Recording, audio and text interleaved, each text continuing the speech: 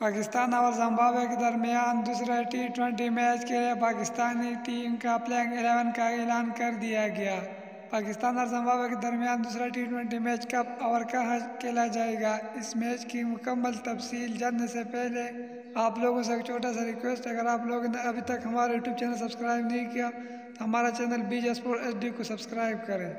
चलो जानते थे पाकिस्तान और जम्बावे के दरमियान दूसरी टी ट्वेंटी मैच के लिए पाकिस्तानी प्लेइंग इलेवन में कौन कौन शामिल है? Number one Pakistan cricket team captain Babar Azam number two left hand batter Fakhar Zaman number three wicket keeper Mohammad Rizwan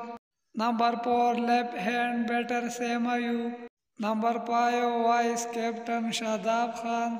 number six power hitter Iftikhar Ahmed